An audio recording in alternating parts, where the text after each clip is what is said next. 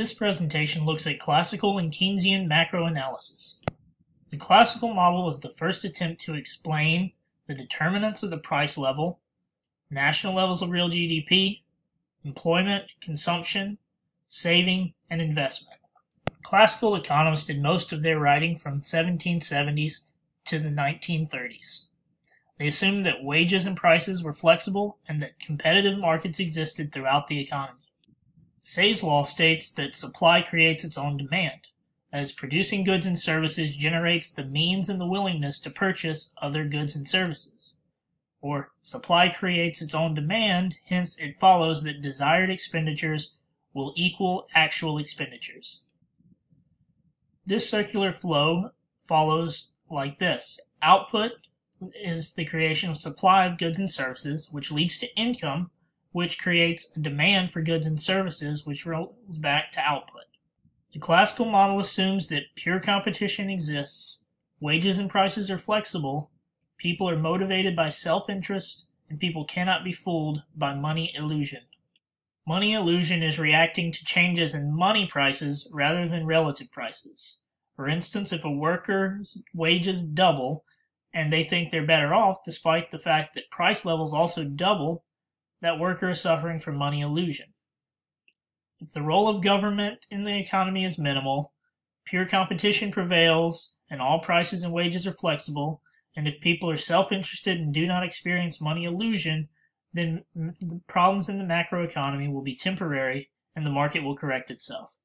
When income is saved, it is not reflected in product demand, so we can see it as a type of leakage in the circular flow of income and output, because saving withdraws funds from the income stream.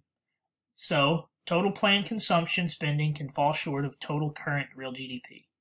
Classical economist assumes that each dollar saved would be matched by business investment, uh, so the leakages would actually equal the injections, and equilibrium would exist at the price or interest rate of credit. In this graph, we can see that the equilibrium interest rate leads to a point where desired savings and desired investment are equal. While changes in saving and investment create a surplus or shortage in the short run, in the long run, just like with any surplus or shortage, the price or interest rate in this case will adjust and bring the market back to equilibrium. So would unemployment be a problem in the classical model? No, classical economists assumed that wages would always adjust to the full employment level. In this graph, we see that the equilibrium wage rate should lead to an equilibrium level where supplied labor is exactly equal to demanded labor. The classical model suggests that long-term unemployment is impossible. Say's law, as well as flexible interest rates, prices, and wages, would tend to keep workers fully employed so the long-run aggregate supply curve is vertical. Any change in aggregate demand will cause a change in the price level. Here we can see a visual representation of that, where the long-run aggregate supply curve is vertical. Any shift in aggregate demand just increases the price level. The effects the classical model assumes would happen due to a decrease in aggregate demand go as follows. With the economy at full employment, a decrease in aggregate demand leads to a fall in real GDP, and this is represented by the position of the long run aggregate supply curve, which leads to an increase in unemployment, then competition among workers who are out of jobs and workers who are in jobs pushes down wage rates, and the same occurs for other input prices, which leads the economy back to equilibrium on its long run aggregate supply curve. The classical economists the classical economists viewed the world as one with fully re utilized resources. However, in the 1930s, Europe and the United States entered a period of economic decline that couldn't be explained with the classical model. Entered John Maynard Keynes, who developed an explanation that has become known as the Keynesian model. His model argued that prices, including wages, are inflexible or sticky downward. An increase in aggregate demand will not raise the price level, and a decrease in aggregate demand will not cause firms to lower the price level.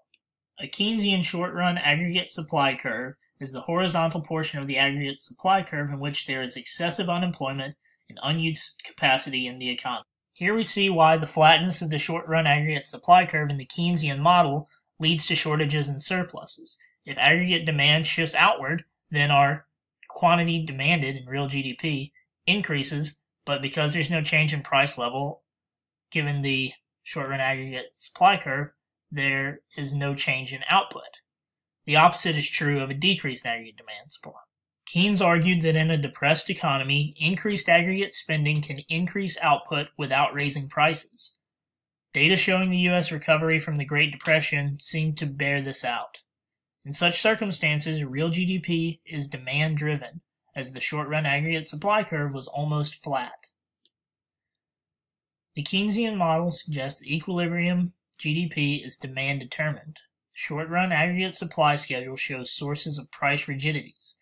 Union and long term contracts explain inflexibility of nominal wage rates. The underlying assumption of the model is that the relevant range of the short run aggregate supply schedule is horizontal. However, the price level has drifted up in recent decades, so prices are not totally sticky. Modern Keynesian analysis recognizes that some, but not complete price adjustment takes place in the short run. The short run aggregate supply curve shows the relationship between total planned economy-wide production and the price level in the short run, all other things held constant. If prices adjust incompletely in the short run, the curve is positively sloped. In panel A, we see the traditional Keynesian analysis with a completely flat short run aggregate supply curve. In panel B, we see modern analysis where price level shifts up some, but it doesn't shift all the way to where it should in equilibrium with the long run aggregate supply curve. In the modern model, the price level rises partially, so real GDP can expand beyond the level consistent with its long run growth path. This occurs because most labor contracts allow for flexibility in the total number of work hours. The existing capital stock can be used more intensely, and wages are constant when prices rise, so a firm is more profitable in its operations. These adjustments cause real GDP to rise with the price level. Firms use workers more intensively, they get workers to work harder. Existing capital equipment is used more intensively, they use the machines for longer hours, and wage rates are held constant and a higher price level leads to increased profits, which leads to lower unemployment as firms hire more. In both aggregate demand and aggregate supply curves, non-price level factors cause shifts. Any change in the endowments of the factors of production, that is, more labor or capital, can shift both short and long run aggregate supply. However, changes such as production input prices, particularly those caused by temporary external events, only shift the short-run aggregate supply curve. This table discusses some of the causes for changes in aggregate supply. An aggregate demand shock is any event that causes the aggregate demand curve to shift inward or outward. Similarly, an aggregate supply shock is just an event that causes aggregate supply to shift inward or outward. A recessionary gap is the gap that exists whenever equilibrium real GDP per year is less than full employment real GDP, as shown by the position of the long-run aggregate supply curve. Here we see that when our aggregate demand shifts, shifts in, in the short run, our aggregate supply pushes the price level down, and our real GDP shifts, and we have a recessionary gap from what it should be in the long run to what it is currently in the short run. An inflationary gap is what happens in the opposite event. When aggregate demand shifts outwards or increases, we have an increase in the price level along the short run aggregate supply curve, as well as an increase in real GDP per year. However, in the long run, it should contract back to the long run aggregate supply levels. And so, what we expect to have in the long run and what we have in the short run is where we find the inflationary gap. In a growing economy, the explanation for persistent inflation is that aggregate demand rises over time at a faster pace than the full employment level of real GDP. Short run variations in inflation, however, can arise as a result of both demand and supply factors. Demand pull inflation is inflation caused by increases in aggregate demand that aren't matched by increases in aggregate supply. Cost push inflation is inflation caused by decreases in short run aggregate supply. Here we see cost push inflation, where the short run aggregate supply has decreased, sliding the equilibrium price level up higher along the aggregate demand curve. The open economy is one of the reasons aggregate demand slopes downward. When the domestic price level rises, U.S. residents want to buy cheaper priced foreign goods. The opposite occurs when the U.S. domestic price level falls. When the dollar becomes weaker against other world currencies, it causes a shift inward to the left in the short run aggregate supply curve, causing equilibrium real GDP to fall and, call, and price levels to rise.